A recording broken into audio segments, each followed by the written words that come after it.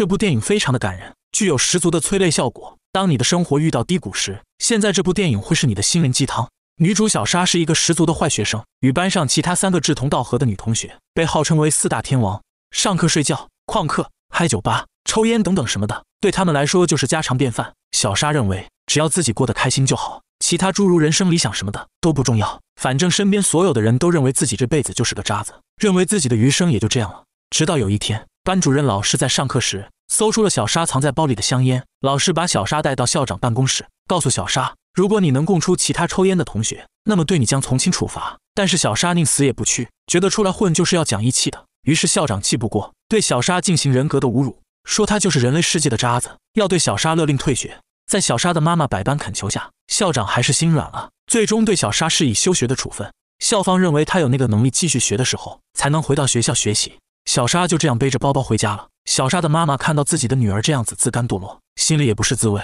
妈妈告诉小莎，如果不能上女子高中对口大学，那我们就自己学习，考上别的大学吧。于是，小莎的妈妈给了她一张小广告，是一个类似于补习班的学生培训机构。这一天，小莎披着日式黄毛大波浪，穿着露脐装，还有超短裤，来到了那个培训机构。当老师看到小莎的第一眼，眼珠都要掉出来了，差点流口水。不过，老师说的第一句话让我万万想不到。小小的调侃之后。老师要对小沙进行一个测试，测试很快，不到一分钟就做完，因为小沙一道题也不会。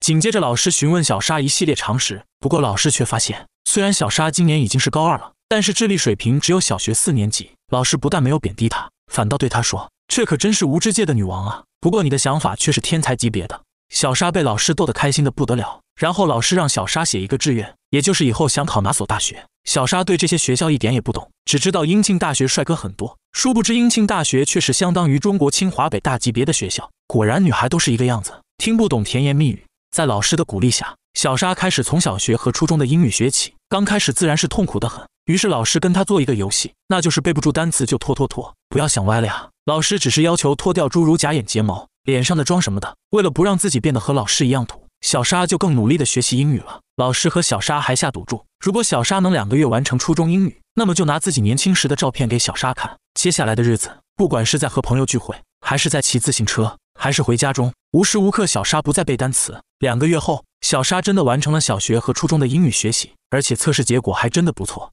小莎的家庭是一个传统的家庭，爸爸工藤也是一个十分重男轻女的人。他认为一家人将来的希望只有寄托在打棒球的二儿子身上，一心想把儿子培养成职业棒球手，所以对其他两个女儿都是不闻不问的。儿子都是爸爸养，而两个女儿却是小莎的母亲靠晚上在工厂打工养。当小莎的妈妈第一次见到女儿这么用心读书时，告诉爸爸工藤，请求给咱们的女儿多一点关心。工藤却说他有什么好关心的，反正都是垃圾一个，这辈子也就这样吧。这就是个失败的家庭，咱们的家只能指望儿子当职业棒球运动员。小莎听到这话可就不爽了，发誓要证明给爸爸看。于是小莎就更加努力学习，每天学习超过十六个小时，其他时间三个小时只留五个小时给自己睡觉，还把自己的黄毛波浪剪了，留了短发。后来小沙休学期满了，回到了学校，班主任老师听说了小沙的事情，当着全班同学的面羞辱小沙，说道：“你这个人类的渣子，别说英庆了，就算你考上别的任何普通大学，我就脱掉裤子在学校裸奔。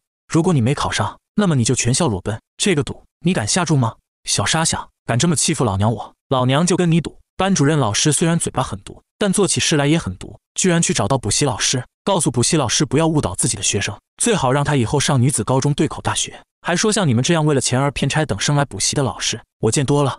不过补习老师却认为从来没有什么差等生，说不会放弃自己的学生。这一切都被坐在旁边桌的小沙听得一清二楚。回到家中，正好遇到爸爸和弟弟在吵架，原因是因为一个星期没有参加棒球训练。爸爸训斥弟弟赶紧向教练道歉，却被弟弟一把推倒在墙角，说。自己不行的，会放弃的。大家都太强了。这时候，作为姐姐的小莎还是鼓励了一下，说：“都坚持到现在了，千万别放弃。你看我小学智力水平，却坚持考英庆。”弟弟一下子更不爽了，说：“姐姐，你是不是真傻？以为你真的能上英庆大学吗？”这一句话对小莎来说如同晴天霹雳，开始怀疑自己真的能不能行。因为都高三了，大家都在为高考准备，而自己还在读初中的日本历史和英语。过了几天，第一次全国模拟高考成绩下来了，看到成绩的小莎真的扛不住了。真的好想放弃。补习老师说，如果你真的想放弃，那就抽空去英庆大学看一看吧。但是小沙觉得看了有毛用，只会让自己更伤心、更羞耻。这一次，补习老师对小沙的不耐烦也发火了，小沙彻底崩溃了，一个人独自走在下着大雨的街道。人在脆弱时，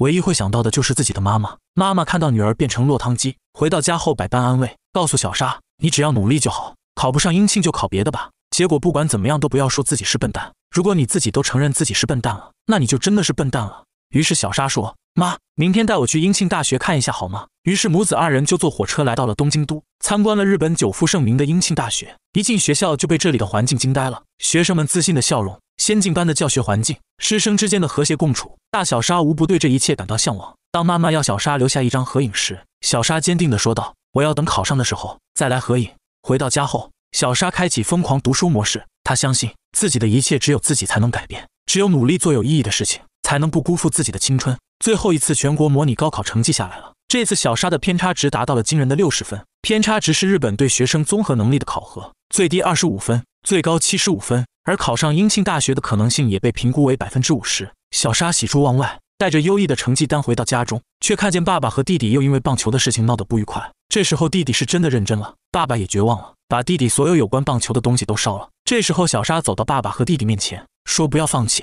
就算不喜欢棒球。”那也一定要找到自己喜欢的事情，并把它坚持下去。说完，把自己的成绩单给爸爸和弟弟看。他们看完之后，简直不敢相信自己的眼睛。爸爸瞬间仿佛也明白了什么，露出了惭愧的表情。高考不久就会来临，小沙全力备战高考。补习老师告诉小沙：“你的英语的确很强，但是日本历史是真的弱，所以必须全力复习日本历史。”小沙知道这可能是最后一次来补习班，所以送给了老师自己早已写好的信，而老师则送了小沙一罐合格咖啡。小沙高兴地说：“会在考试当天喝的。”看到这个小心，我只想说，高考只考两科，要不要这么爽？时间过得很快，高考这一天终于来了。不过早上起来，下着暴雪，地上全是积雪。这时候，爸爸出来说：“走吧，小沙，我送你。”在车上，爸爸告诉小沙，一直以来自己很对不起你们母子。